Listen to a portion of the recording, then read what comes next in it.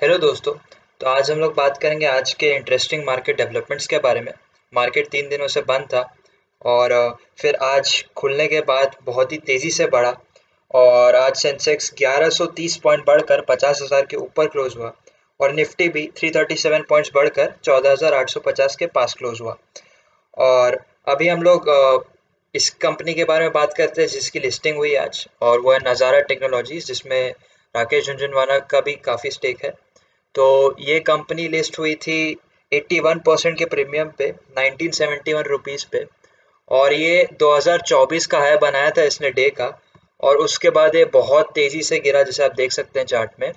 और ये जाके क्लोज हुआ 1592 रुपीस जो 44 परसेंट प्रीमियम पे था इसके इशू प्राइस से 1100 के। तो अभी ये लोअर सर्किट पे लॉक्ड है। तो ये आज इसकी लिस्टिंग हुई। और आज निफ्टी आईटी का दिन था, जैसे आप देख सकते हैं कि निफ्टी आईटी 736 पॉइंट ऊपर था, तीन परसेंट लगभग ऊपर। और इसमें भी आज Infosys T C S H C L tech, ये सब शेयर्स तीन से चार परसेंट ऊपर थे। शॉकिंगली इन्फो है, जो कि नौकरी है, वो पाँच परसेंट डाउन था, वो बीच में नौ परसेंट भी डाउन हुआ था, बट लास्ट में उसने रिकवरी कर ली। इसके अलावा बैंक्स का भी आज ठीक ठाक दिन था। यस बैंक ने सर्किट लगभग टच किया था और वो सत्रह परसेंट ऊपर क्लोज हुआ है तो उस पर भी आप नज़र रख सकते हैं।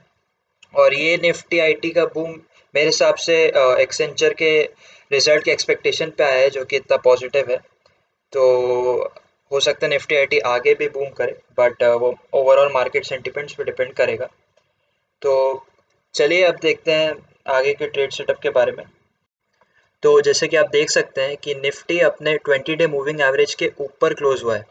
तो इसका क्या इंडिकेशन है कि मार्केट अभी शॉर्ट टर्म बुलिश है। तो इसका अगला रेजिस्टेंस हो सकता है 14,900 और उसके बाद आप 15,000 लेवल्स पे रेजिस्टेंस देख सकते हैं। और अगर वो क्रॉस हो गया तो there is a possibility of a breakout तो ऐसा हो सकता है कि 15,000 के बहुत ऊपर भी जाए मार्केट बट आपको नीचे लेवल्स पे भी ध्यान रखना है। अगर मार्केट सस्टेन नहीं कर पाया 14,750 के ऊपर तो अपना इमीडिएट रेजिस्टेंस आएगा 14,600 पे। उसके बाद उसके नीचे आपका इमीडिएट रेजिस्टेंस आएगा 14,500 पे। तो आपको कॉशियस रहना है और आप जब भी मार्केट थोड़ा बढ़ते जाए तो आप पार्शियल प्रॉफिट बुकिंग करते जाइए।